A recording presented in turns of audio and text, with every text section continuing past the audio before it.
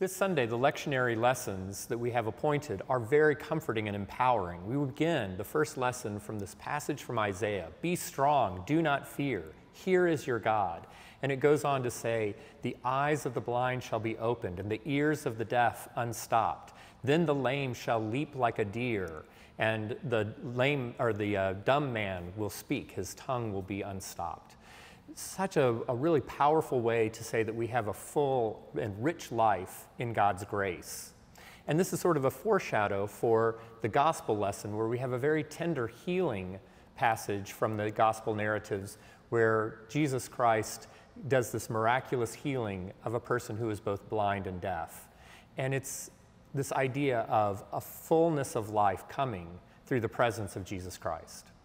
And of course, those themes will wind their way all through the service. And it's a wonderful idea of having full life because we are having baptism this Sunday. So, what a wonderful way for us to talk about the fullness of life as we welcome a new member of the household of faith.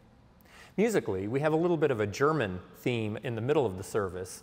At the sequence hymn, that hymn that will come between the Isaiah passage and the gospel, we'll be singing, Blessed Jesus, at thy word we are gathered all to hear thee. And it has lots of those ideas of hearing and sight, again, linking that idea of, of having all of our senses be acute in the presence of God. It's a text that is originally a German poem, um, and it's, this is a translation of that poem, and it's set to the music that it was originally sung to during the Reformation. Um, it's a very soothing and gentle German chorale from the early, uh, from the early Reformation.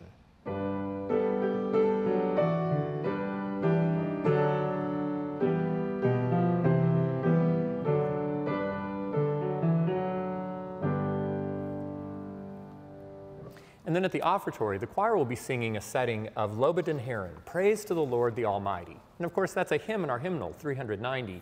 But this is a setting that's a little bit more adventurous than maybe what we would typically have for the congregation.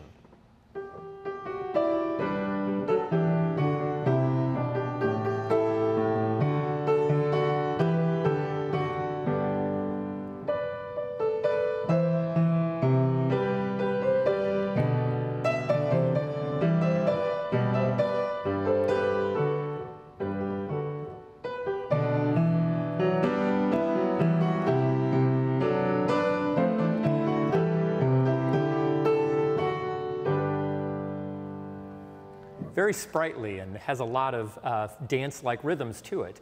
Significantly, the composer, Hugo Distler, was an early 20th century composer and was one of the first to uh, reawaken this awareness of the early Baroque dance rhythms. Last week we talked about A Mighty Fortress is Our God, and when Martin Luther originally composed that tune, that it had a much more dance-like feel than the very staid, ironed out chorale by Bach, that, or version by Bach that we are more familiar with. Distler was one of the first to recover that dance-like uh, attitude of German Baroque music. Um, is a little bit of a tragic figure. He was young enough, he grew up uh, in, in Germany as the Nazi government was rising, but he was young enough to not really attract a lot of attention, unlike scientists like Albert Einstein or an older composer, Paul Hindemith, who was um, pushed out of Germany at, as the Nazi government was rising. Distler sort of flew under the radar screen and yet he was so involved with uh, church music and with the spiritual side of music that the tension between his life's work and the um, dominance of the Nazi government and what they were doing in secular society was too much for Distler to bear. And at the young age of 34, Distler took his own life. But he left behind some really beautiful music. We'll also be singing a German chorale at the offertory, and it's the, a chorale melody that you might know from um, Jesu Joy of Man's Desiring, uh, but it's the chorale that comes from that, um, not, not the wedding piece that we're familiar with.